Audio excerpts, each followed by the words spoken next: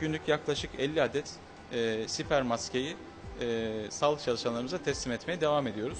Gönüllü Kocaeli halkından da hem evlerinde e, 3D yazıcısı olan vatandaşlarımızla e, hem de bunu daha basit yöntemlerle üretebilen vatandaşlarımızla e, işbirliği halindeyiz. Onların da desteğiyle sağlık çalışanlarımıza desteğimizi devam ettiriyoruz.